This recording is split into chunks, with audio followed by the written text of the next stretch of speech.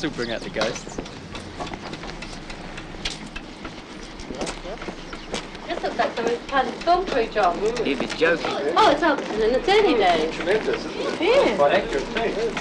Look at these little curtains on. Not too bad at all. Kitchen's missing, though. Yes, out of the city. It's got shingles on the roof, eh? Look. I bring it across. Um, try it on top of there first. Not too bad at all. But it doesn't matter.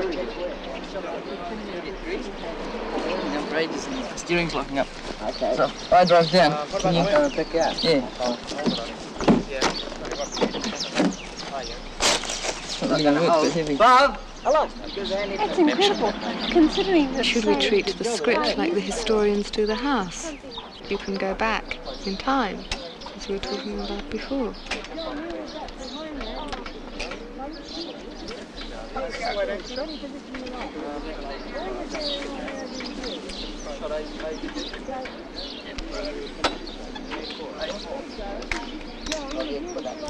Okay, stand by.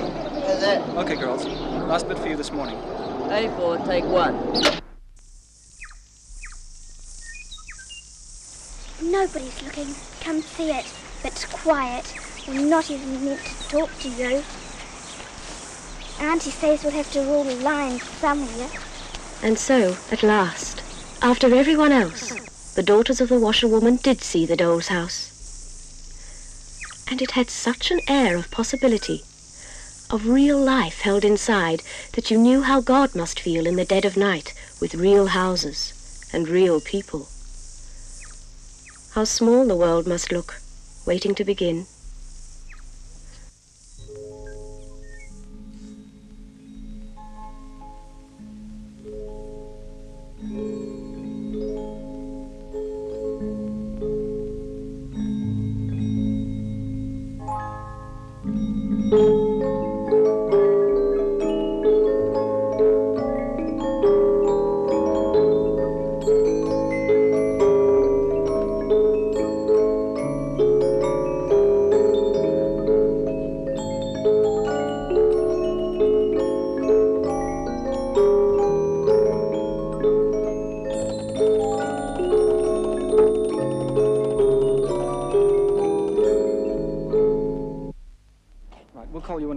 Don't disturb anything in here, will you?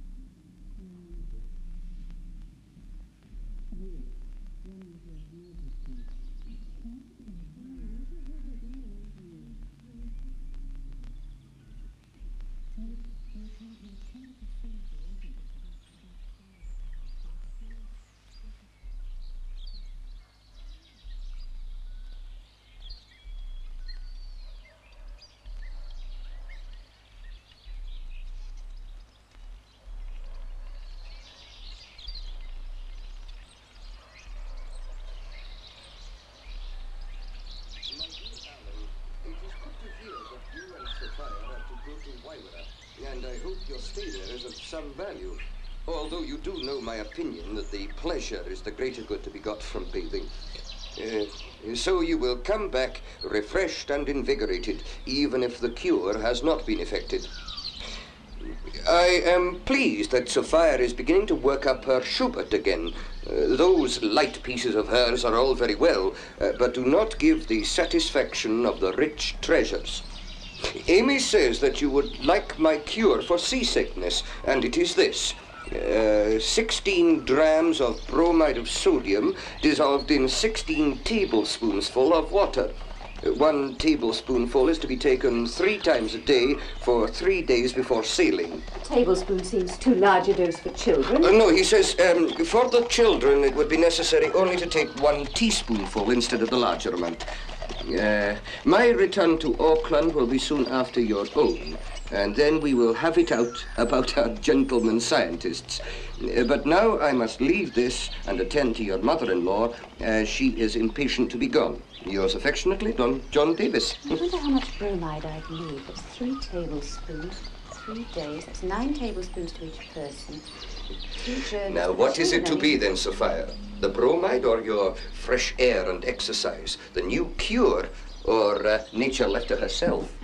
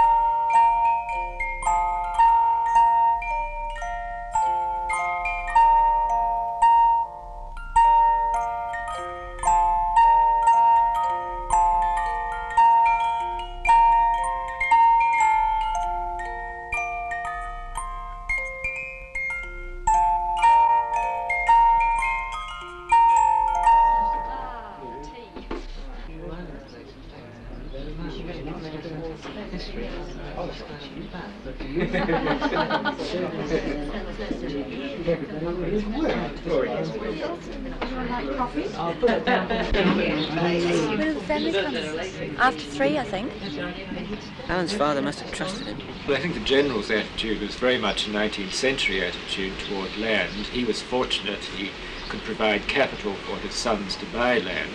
All these other people who were here didn't have as much capital, or perhaps uh, didn't understand as clearly as he did that this was the basis of society in 19th century land.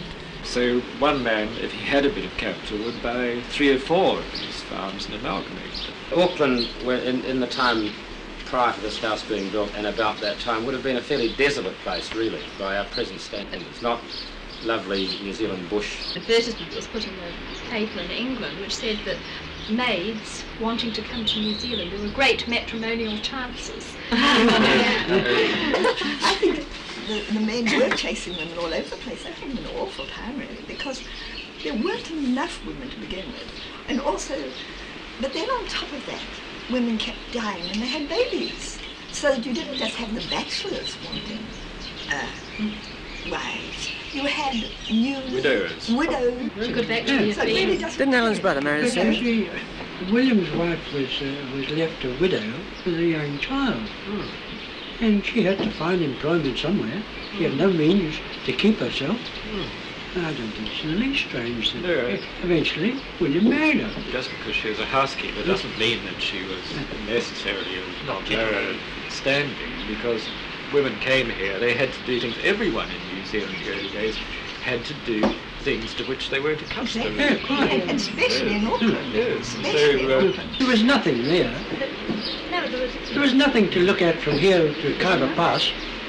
Oh, well, all over that way uh, was Cabbage Tree Swamp where Eden Park and Sandringham are now.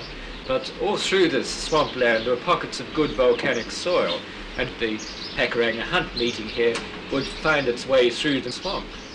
Some of the uh, water was quite deep, and people drowned there at odd times. Oh, back now, you, we fillies, you. now you stick to the path. You'll lose your way. It's slippery down there and it gets a lot worse. you then finish up down the bottom there. It's a hard climb back up again. And with the fine prospects you've got, my lass, you should no be acting a glee. Now back up to the house and find yourself some work. Off you go now. And you stay to the path.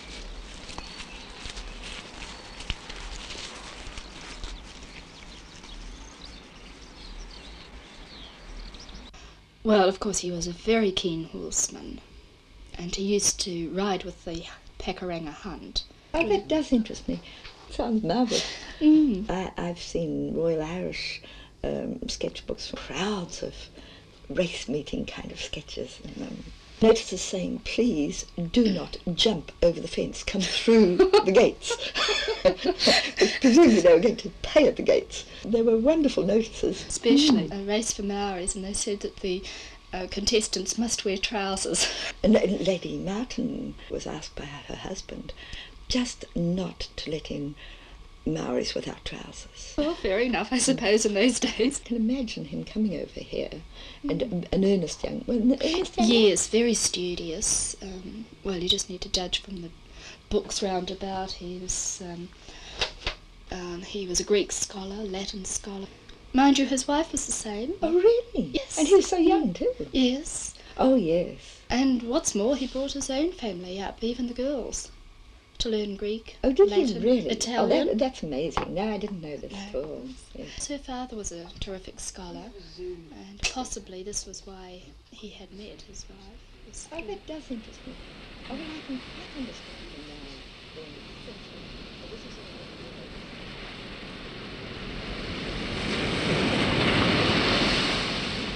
Civilization is not the work of 20, nor yet 40 year. Though anxious for a Christian teacher to live among them, the natives are so attached to their evil customs that honesty, truth, and industry remain sadly unenlightened. A person scarcely dared lay down a tool for fear of its theft. Now locks and belts are but little used. Ah. Ah. Après six semaines d'occupation de cette petite colonie, j'ai la satisfaction de Prêchant voir... la parole divine avant que les missionnaires protestants l'aient dénaturée, en répandant des path calomnies. of righteousness.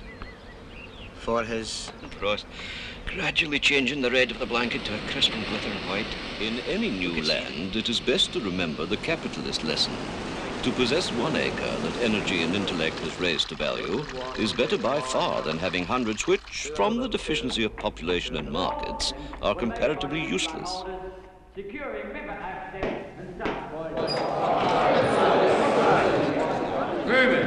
That a gentleman recently arrived from England intended purchasing large tracts. I was very aboard further rumours that this gentleman is dissatisfied and does not intend investing money in Canada. It is my belief, sir, that this estimate is fully one third in excess of what actual receipts are likely to be. Unless Providence, on which alone the government seems to rely, and on which our credit has for some time rested, mm. intervenes specially in its favour.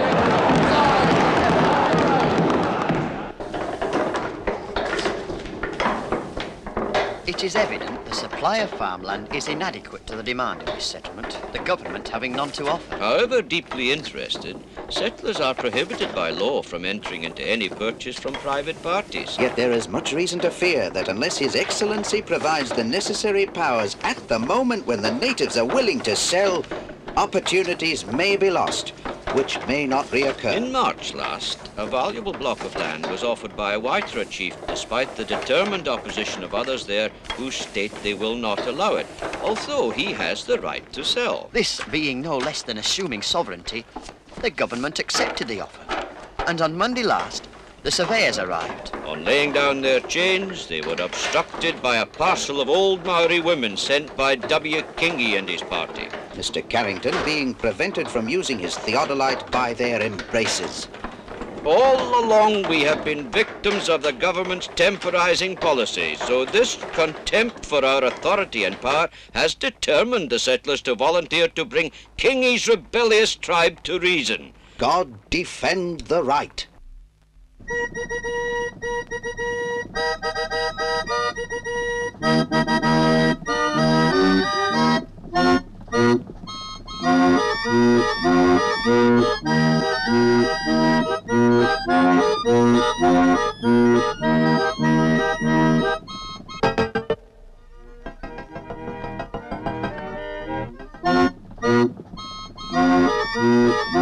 Keep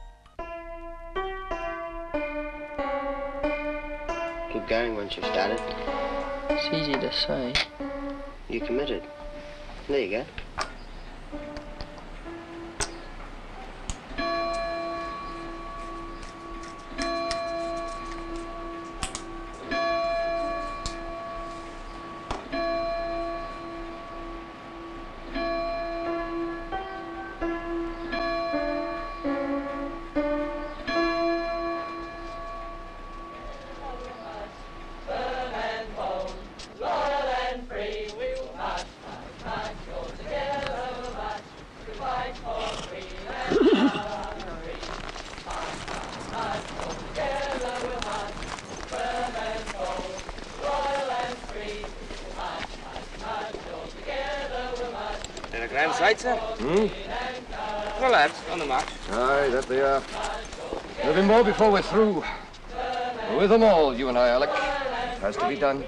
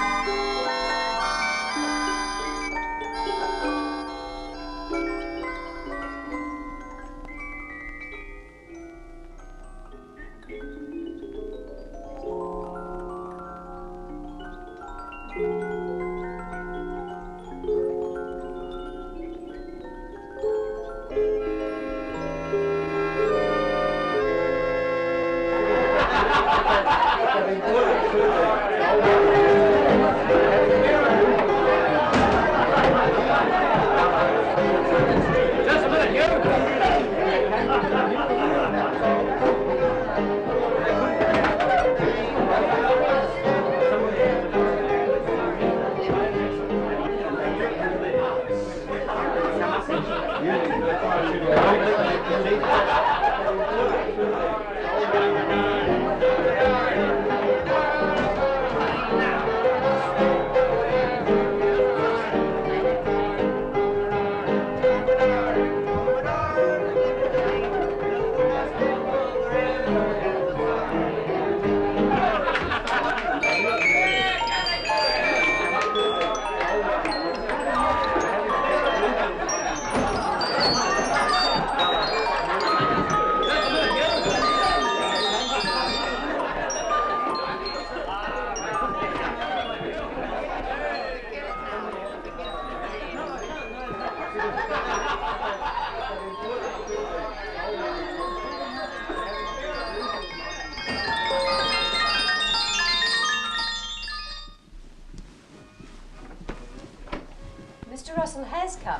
Oh, very good.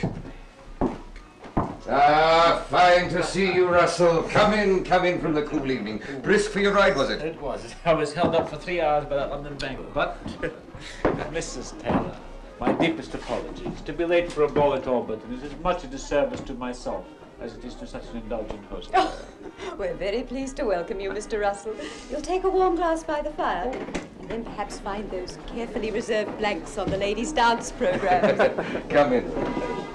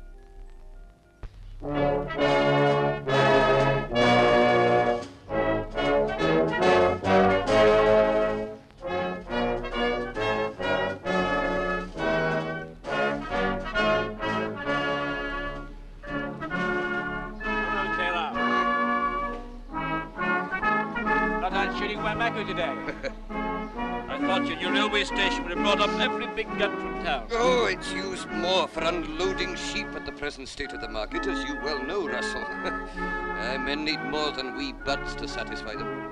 All expecting pure charity, with rights too. Better let the sheep work for you know where you are. Oh, and watch them starve. Oh, there's no good land out there, unless you're a high-flying bud.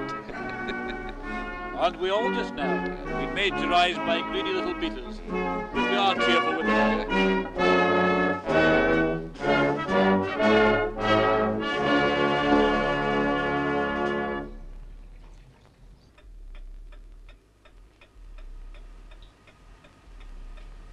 I can understand how Miss Ellen Kerr Taylor felt about her financial troubles because the letters coming from London speak of the people there as Mm. having aged and and being frantic with worry. Yes.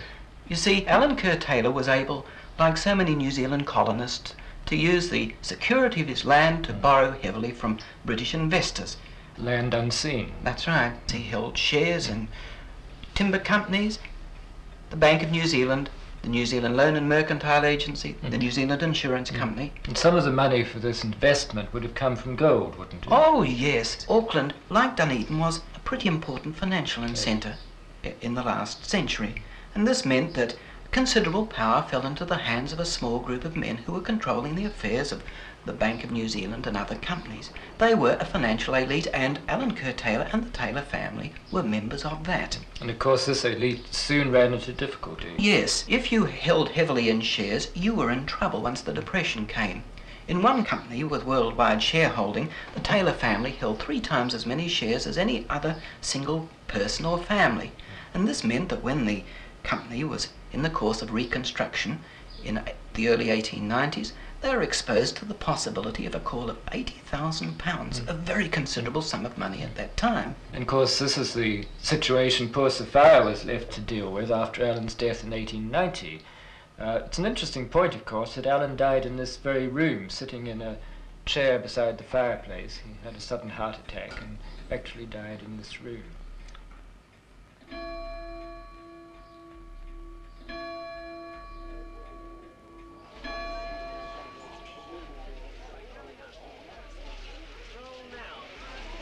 Dear Mr. Stackpool, the whole family is delighted to accept your invitation to view Alberton, though there's not much we farmers can suggest beyond the memories our aunts passed on after Grandma died. They ignored the past, really, and in school holidays, when we came from Waimauku, the house became a giant playroom, for them as well as us. The girls, everyone called them, they were always lively. Aunt Muriel played golf until she died and did press-ups for exercise aged 18. Yes, this, this, this was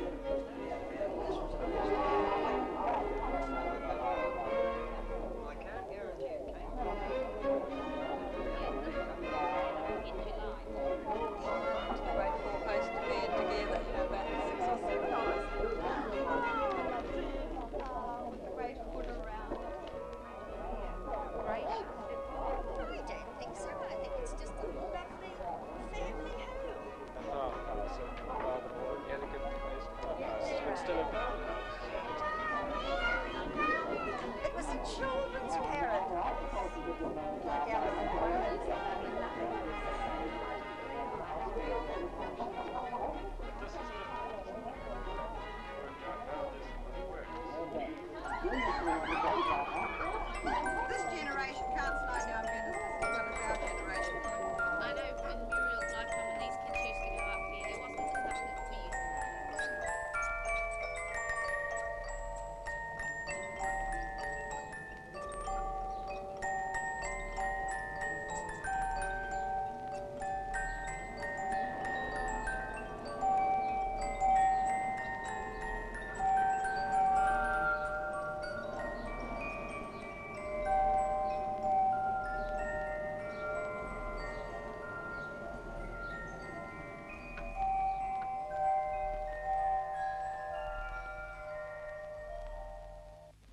It always was a bit old and musty. It used to give us the creeps, really, because I think because the fact that the children were all born here had um, an air of uh, mystique about it, really. We never came in yes. here, or very rarely. Yes. If we did, it was just to peep from the little door there. And This was just an understood thing. The children didn't come into this room. They weren't deliberately kept out of it. They Oh, just no. didn't come into it. We were never deliberately kept out of any room, really, yes, but uh, yes. we seemed to know. Hmm. But um, this cabinet, of course, was always here, but and I think Muriel used to keep all her jewellery, Oh, yes. that sort of thing. But um, no, I, I have um, I've never really seen these before. Yes, well, they're, they're Indian, of course, aren't they? And I wonder if they came out with the family in any way, or you know, just gifts sometime from India. I suppose it's changed quite a lot since you remember it. It's changed considerably. One thing, the um, smell has almost uh, disappeared. Yes, Well, is, yes, and, you this is something that's quite indefinable, isn't it? And, yet it's very important to a house. And yet the um, atmosphere of uh, India seems to have been maintained. You know? Oh, that's good anyway. Very good. I'm glad to see. Yes, because this is something, again, which there wasn't a great deal of here. So it really does um, concern me that uh, it's not going to be, you know, um, well, it's not going to be lived in. And No, how are you well- going to achieve this lived in look? Well, we've coped with this problem in a number of houses throughout the country, and I, I think we can do it all right. To get a feeling of, of naturalness in the house as if it were lived in, even though it's not. It's maybe a bit artificial, but uh, when you're displaying things to the public, you've got to be a little bit artificial, really. Will they, um, the public, be allowed to use the furniture to sit on and that sort of thing? Well, only some. Some, by no means all. Because this is what strikes me with um, stately homes I went through in Britain. And Hmm. People won't be living in it, and it's going to be hard to Yes, yes. maintain. Yes, but I think we can do this. I, I think. Uh, Stand by. How dare you, Mandy? Get out, you girls, quickly! How dare you let them come here? Do that once more, that girl's husband, get out here. Now come here immediately.